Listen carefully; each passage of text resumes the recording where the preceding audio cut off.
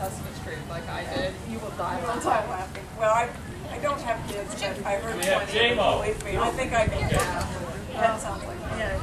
I was about, I was four or five years old when Sesame Street, you know, first came out. So I remember watching it for a few years as a kid, and then of course I watched it with my kids. Yeah. You were completely indoctrinated. They got it. Yeah, they got it. They Down got to a it. Everything is the way it's the way it is. You. Here, over. Over. Over again. No. Insane. Used to have a game on our Wow. Party Blaster. Where you could like hit him with a shotgun. Poor Barney. Is that too? No. That was thoughtful. Say